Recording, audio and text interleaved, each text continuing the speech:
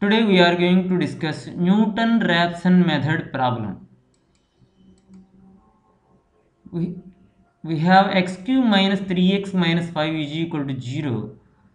We have to solve this equation using Newton-Raphson method at the point x is equal to 2.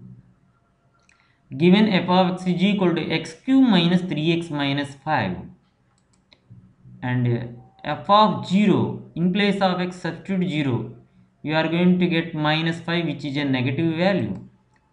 If you substitute in place of x1 you are going to get minus 7 which is also a negative value. If you substitute in place of x2 you are going to get minus 3 which is also a negative value. In place of x you substitute 3 you are going to get 13 a positive value.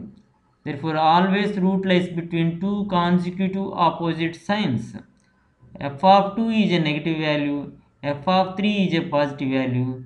Therefore root lies between 2 and 3 okay? By newton raphson method x1 is x 0 minus f of x 0 by f dash of x 0 this is the formula. Therefore x 0 startup value has given as 2 okay? We require f dash of x also. Therefore f dash of x means f of x is this much. F dash of x means x cube differentiation 3x square 3x differentiation 3 and uh, start x naught value already has given as 2 therefore substitute in the formula. X1 is equal to x naught minus f of x naught. F of x naught means in this equation x replaced with x naught divided by f dash of x naught. In this equation x replaced with x naught here. So if you substitute in place of x naught 2 and simplify you are going to get the value as 2.43 so in calculator how will you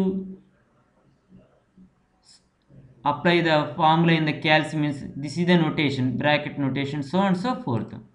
Similarly x2 is equal to the formula is x2 formula is x1 minus f of x1 by f dash of x1 so if you again do the problem x2 is equal to 2.2805 similarly x3 is 2.2790 similarly x4 is equal to 2.2790 therefore x3 and x4 are the same values we are going to get.